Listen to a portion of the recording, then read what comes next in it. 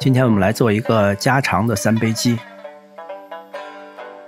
我们先来准备一些九层塔，我这个是泰国味儿的，摘这么一撮就差不多了。我们不需要杆儿，只要把叶子都给它摘下来就行了。把这个鸡肉稍微腌一下，一点料酒，一点盐，还有黑胡椒粉，把它和匀。腌半个小时就可以了。现在准备一些姜片儿，我这个方子需要的姜比较多，尽量把它切的薄一点，像这样最好了。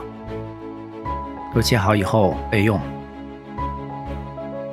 我们再准备几瓣蒜，不需要再切了，只要把它拍一拍，去掉那个皮就好了。准备一大勺油，然后把咱们这个姜片儿放进去，用中小火给它煎，千万别大火，容易煎糊。中间翻几次，大概两三分钟以后，它就打卷儿了，这就可以了。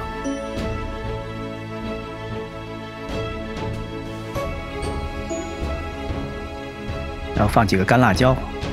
如果你有那种新鲜的更好，不吃辣的可以不用放了。咱们这几瓣蒜也给它一块放进去炒香，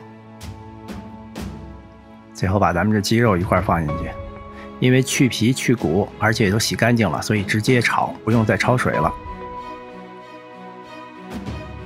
给它炒出香味来，开始加咱们这个两大勺的酱油。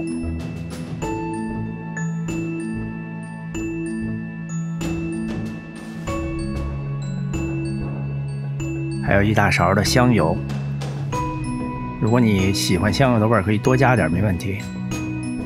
最后加上一杯啤酒，